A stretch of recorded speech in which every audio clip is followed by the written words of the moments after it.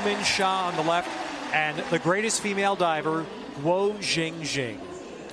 They are huge in synchronized diving, having not been defeated in the last four years, and that's as long as they've been together. The reigning gold medalists, and uh, an early indication of what this sport is, Cynthia, very simple. Two divers, the same dive, trying to perform it in synchronization. Absolutely attempting to look identical, mimic each other in every aspect the approach, the takeoff, the height, the movements in the air in unison, the likeness of the angle of the two bodies upon entry into the water, corresponding distance from the board, and finally, do they contact the water at the same time?